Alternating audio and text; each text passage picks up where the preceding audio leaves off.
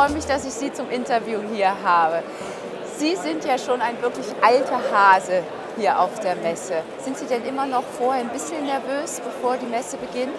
Ja, natürlich, weil man nie weiß, ob alles funktioniert. Sie müssen sich mal diesen gigantischen Apparat vorstellen, fast 2900 Aussteller zu organisieren, in der ganzen Welt Promotion zu machen, damit die Welt dann auch nach Nürnberg kommt. Und hat alles funktioniert? Ist alles richtig gemacht worden? Das ist natürlich dann, die Wahrheit kommt am ersten Tag. Jetzt haben wir Spielwarenmesse 2017. Was sind denn jetzt so die aktuellen Trends? Was können Sie hier so feststellen? Ich stelle fest, dass sich zwei Welten entwickeln. Eine sehr technologieorientierte Welt auf der einen Seite, die auch die aktuelle Lebenswelt versucht abzubilden.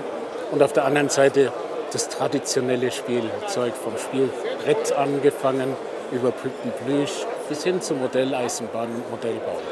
Und bei diesen Neuheiten, gibt es da etwas, was Sie persönlich ganz besonders jetzt begeistert hat? Haben Sie da schon was entdeckt jetzt in den letzten Tagen? Ja, es ist nicht nur ein, es ist ja, eine, eine Vielzahl. Ne? Sie müssen sich vorstellen, bei uns werden eine Million Produkte ausgestellt, 75.000 Neuheiten sind äh, hier im Messegelände zu sehen. Und da finde ich natürlich in allen Ecken etwas Interessantes. Äh, ich bin natürlich sehr technikorientiert. Ah, ja. Also ja, Puppen ist jetzt nicht so mein Programm. Ja, und da sehe ich natürlich im Modellbau und bei Modelleisenbahn schon einige Sachen, wo ich sage, hm, wieder Kind sein ist gut.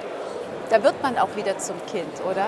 Ja, die Augen leuchten wieder. Ja. ja. Da behält man sich aber auch das Kind. Das muss man auch haben, wenn man das hier macht, oder? Dass man selbst noch das innere Kind hat. Ja, ich glaube schon, denn diese Messe hat sehr viel Passion und ja. Emotion. Äh, man will ja mit den Produkten Glück und Lebensfreude schaffen und das merkt man natürlich.